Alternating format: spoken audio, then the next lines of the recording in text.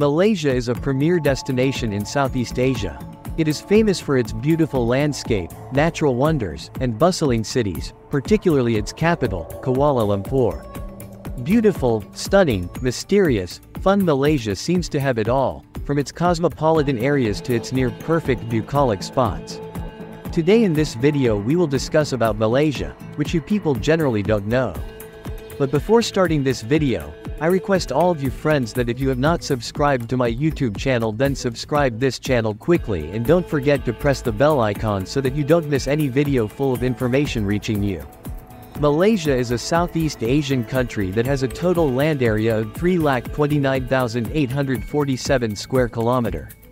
It holds a unique place in the world as the only country that sits on both the Malay archipelago and mainland Asia.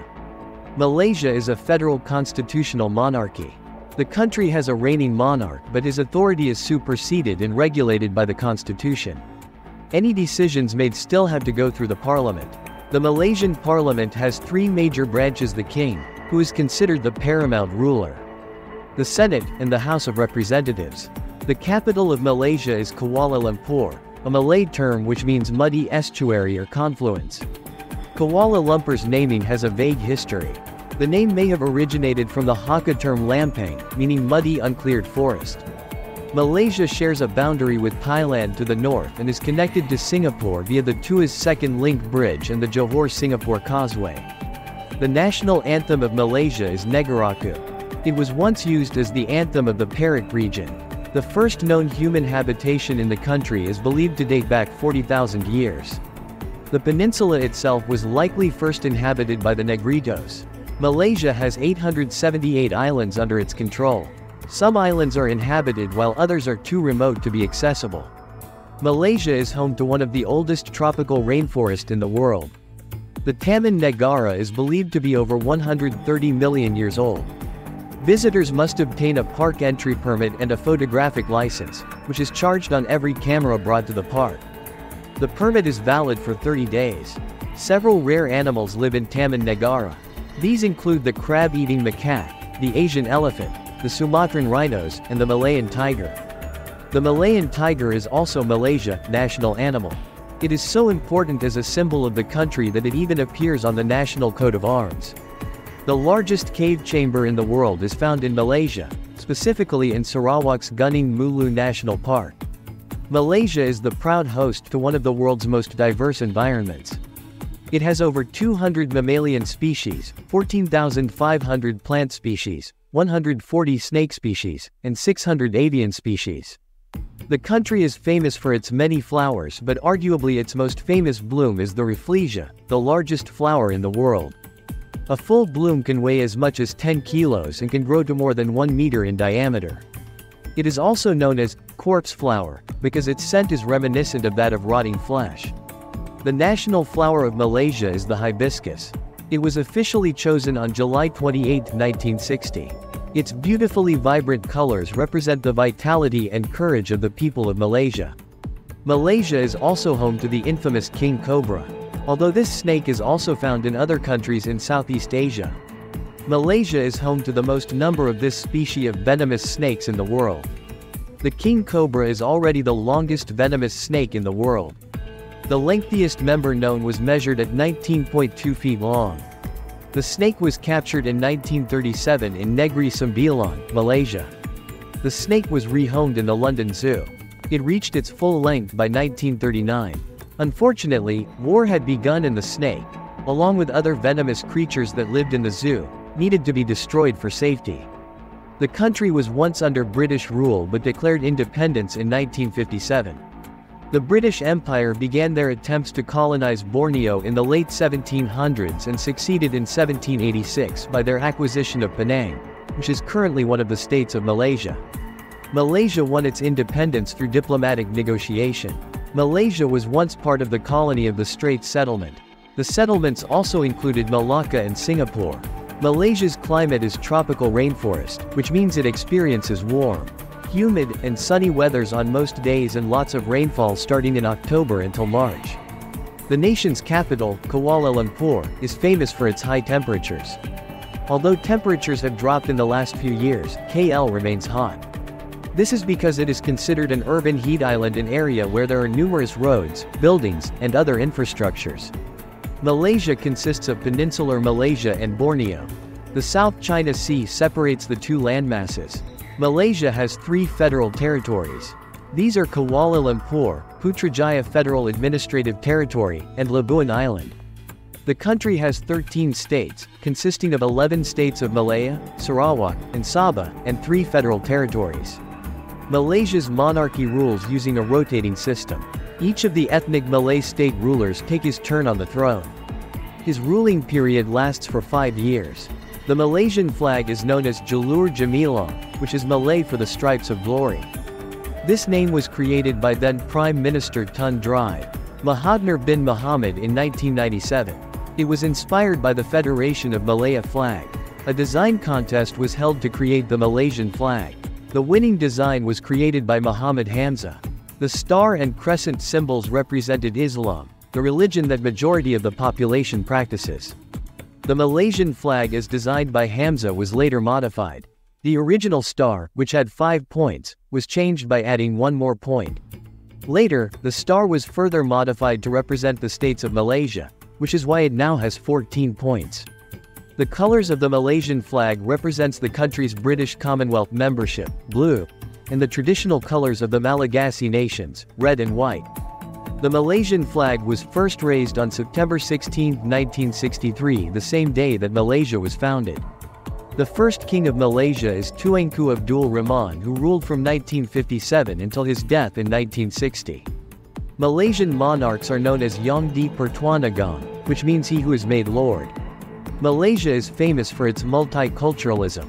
The smooth integration of different cultures dates back to the 1st century AD, when traders from China and India arrived. Many of these traders also later became settlers. The diverse mix of cultures, traditions, and practices form what is uniquely Malaysian. Malaysians refer to their culture as Kebudayaan Malaysia. Malaysia is home to different ethnic groups, Malay, Chinese, Indian, Indonesian, Javanese, Filipino, Nepalese, and other Asian nationalities. Because of its cultural diversity, Malaysia is truly Asia. The three major languages used in Malaysia include Bahasa Malay, Mandarin, and Tamil. However, there are a total of 137 languages spoken within the country. When Malaysians talk, they often start or end their sentences with la or meh. These are part of the unique language quirks in the country that are intended to modify the tone and context of the spoken sentence. These expressions are meant to make the statement nicer and lighthearted.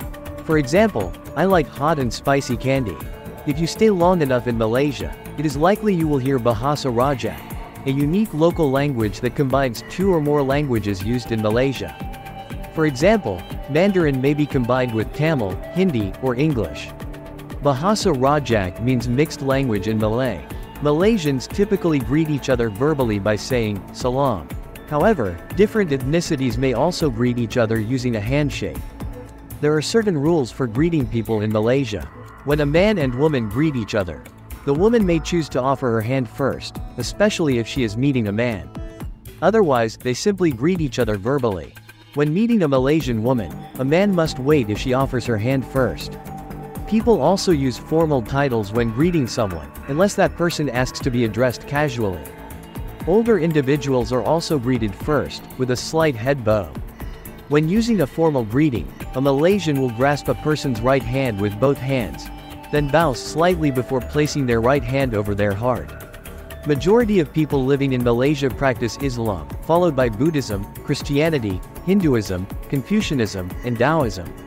The rest of the population practice traditional Chinese religions and philosophies, while others belong to other religious groups.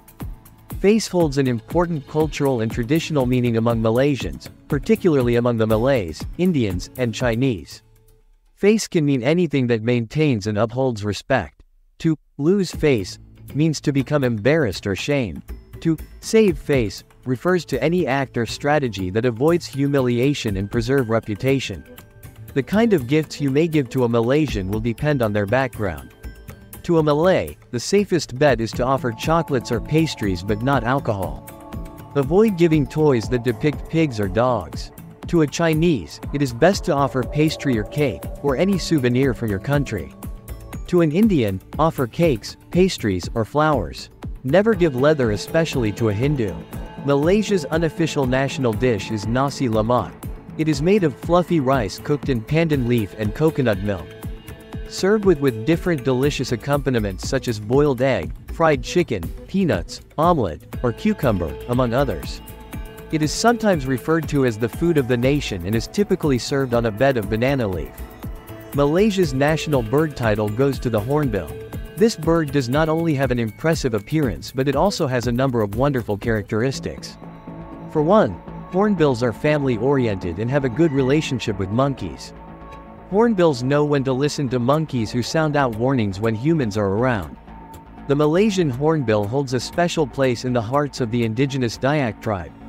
The Dayak people believe that a hornbill represents the spirit of God. It is considered good luck when a hornbill flies over a house. The Petronas Twin Towers are a famous Malaysian landmark. The structure was completed in 1996 and remained the tallest building in the world until 2004. The Petronas Towers were named after Malaysia's national oil company. It is 88 stories high and has 32,000 windows. The bridge that connects the Twin Towers are the world's highest skybridge. It sits on the 41st and 42nd floors. Although she began her career in Hong Kong opposite Jackie Chan, famous international actress and Bond girl Michelle Yeoh is proudly Malaysian. Any it girl, celebrity, or influencer will tell you that when it comes to shoes, very few can hold a candle to Jimmy Choo. The designer, shoemaker is also Malaysian, hailing from Penang. The Malaysian batik is dyed cloth that is famous for its geometric patterns. To create the cloth, a length of fabric undergoes a wax-resist dyeing technique that is done by hand. Malaysians actually do not consider themselves Malaysian. They likely will refer to themselves as Malay, Indian, Chinese or dan lain-lain. Which means other. Batu Caves is a famous landmark in Malaysia. The caves are found within a limestone hill just 11 kilometers. From Kuala Lumpur, a century-old Hindu temple can be found in these caves, featuring a number of statues and idols. The caves are named after the Batu River.